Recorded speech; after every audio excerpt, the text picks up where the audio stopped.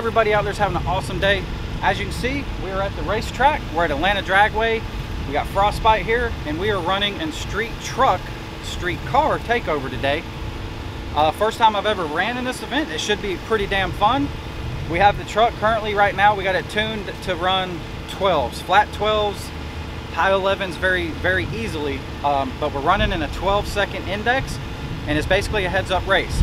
Um, there will be no tree drop. Basically, you will stage and it will be instant green and then you go. So it'll be a little bit different race for me to get used to, but should be pretty fun. And I'm hoping we do really good. Uh, the truck definitely is no doubt going to be very, very stout in the 12 second class. Um, I have no doubt about that. So as long as I'm on my game, we get good traction, all that mess, we should do pretty freaking good. Um, but other than that, guys, stay tuned. Let's get to the race. What's up, guys? All right, we are about to make our first test hit of the day at Street Truck Takeover. And uh, we got pretty decent weather out here, guys. Again, we have the truck tuned to hopefully run 12.0 flat. Um, I'm sure we could probably push it out to high 11s if we want. But this will be the first pass. And what I'm going to do is we have my shift light program for about 5,700. And we are going to launch off the foot brake and see what she does. I'm just gonna run it all out and see what see what we do. We should run about a 12.0. Um, it might be a little quicker because the weather today is pretty good. Uh, we got about a, a 16, 1700 DA right now. Um, feels pretty nice out here in Georgia. Really windy, but feels pretty good. Uh, but anyway, we're about to do the first pass, and uh, hopefully after that, we're gonna probably do another pass or two, and uh, at least try to figure out um, how we got to drive the truck today to run 12 O's. And uh, this is a heads up race. There's no tree drop. Um, you will pre-stage just like you do on any other race event, but there will be no amber lights dropping. Um, it will be an instant green light, more or less like a street race. As soon as the light's green, we both go, and uh, that's the plan. So as long as we don't, you know, red light or take off before the light comes on green, and we don't run faster than our index. Again, we're shooting for the 12.0 index, so we have to run 12.0s or slower, but we still have to win the race. So there we go. Let's get the first pass out of the bag and see where we're at.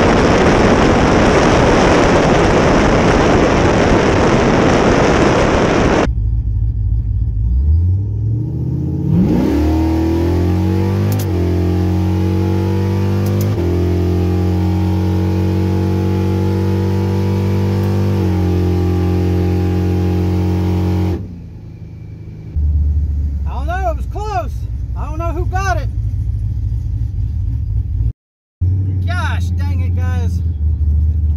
We fucking won. Excuse my language. We won the race, but we lost the race because I went too fast. The other guy went too fast too, but I went way too fast. And uh, I don't know. Like I said, the, the first practice run I got, I didn't get a time. And uh,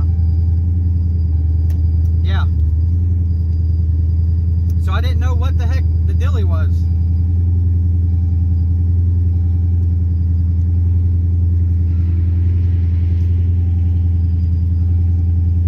So we just ran, I think, our personal best time with a tune-up that was not meant to run this fast. We just ran 11.6 at 115 and some change. The other guy ran 11.9 and we were running the 12.0 index. And uh, yeah, we just went way too fast. I should have let out a lot earlier than I did.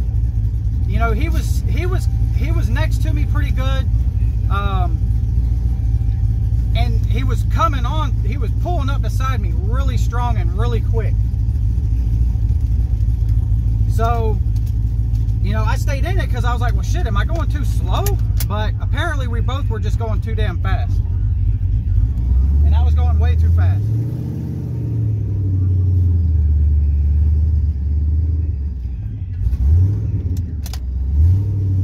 And uh, guys, I don't know, man. It's just gonna take some practice. I'm, I suck at index racing. That's all there is to it. Um, you know, like I said, we only got one practice test, and I have no idea what the time was because I, I, I stalled the converter too much and it bumped me past the tree, so it disqualified my time. I made a pass, but I don't know what it was, so I don't have a time to be able to practice on. So that was it. We went way too fast, 11.6, guys. That was nuts. Here it is. 11.6 and 15 115 mile an hour on a 12 second uh, tune up with like no timing. We got, uh, I think we got, what was it, a 12, 11 and a half, 12 degrees of timing in this tune up. And we're shifting early. We're shifting at 5,800 RPM. And uh, we just ripped off 11.6. That was nuts. But it is what it is. What's up guys? All right, like I said, we went too fast and unfortunately we beat ourselves. Again, I'm not the best index racer. I'm still learning this stuff. But here's a time slip again.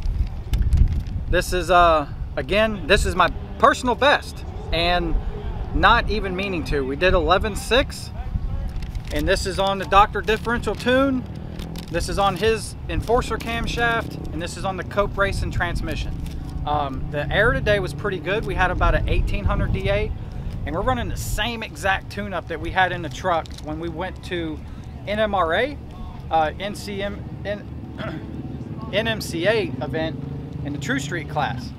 And that day we had about 3,000 DA and we were running 11 nines and 12 O's like clockwork that day on this exact tune-up. And it, like I said, very little timing in the truck.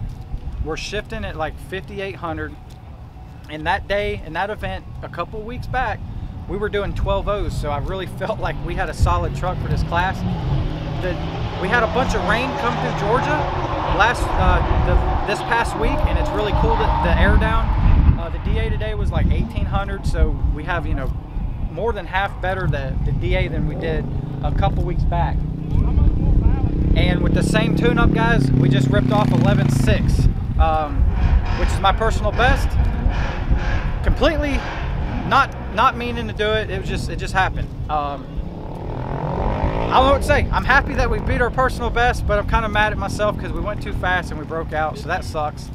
We definitely have a truck that could have competed and could have won, but I got to get used to the index racing. Um, the guy I raced in the Camaro, which you'll see in the GoPro footage, he never lifted, and he was, cut, you know, we were pretty much next to each other the whole time and I mean, he was coming on hard and I was expecting to see him kind of nose over and let out. Um, he never did. He stayed in it the whole way and he also went too fast. He ran 11.9 as you see on the slip.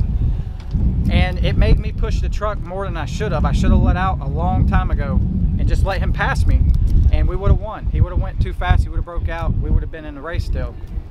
Um, I don't know how to explain. I don't know how to explain the feeling when you got a car right next to you and he's he's you know pulling up on you and it's hard to not go any faster. Um, and the worst thing is, like I said, on the practice run, I messed up and I didn't get a time slip to know how fast the truck was doing in this air. So that literally was the first pass I got with a time slip. And I'm sure the practice run we had, we probably ripped off another mid 11 second pass. And I would have knew then I need to shift it like, let's say five grand to keep, you know, keep our, our ET at about 12 O's or so. But it is what it is. We come out here, we had fun, we got good weather, it feels good. We had a blast out here at Street Truck Takeover. Frostbite has a, a new personal best. Not much, but hey, it's a personal best and it's in summertime. You know, our, our, our last 11.6 was at the end of the season. Last day the track was open and we had almost, I want to say it was like a 500 DA. And uh, yeah, so we just beat our personal best with an 1800 DA with a you know a 12 second tune up in the truck. So I'm really stoked with what the truck's going to do when we get you know a, a zero DA um, or a really low DA. We throw some more timing in it.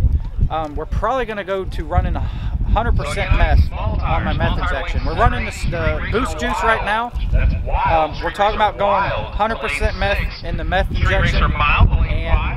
We'll be able to throw a little more timing in it. We're going to try to start uh, uh, stretching the shifts out a little bit. We're going to try to start shifting at like 6,200 and see what that does.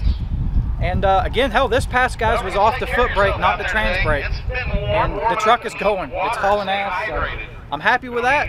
We just got to get better at index racing. Other than that, guys, stay tuned. Don't forget to hit that subscribe button. We'll see you on the next one. Peace.